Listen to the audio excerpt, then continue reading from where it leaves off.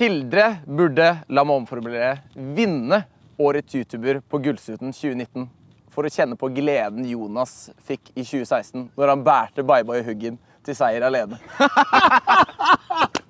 Å, fy fader, Ulla!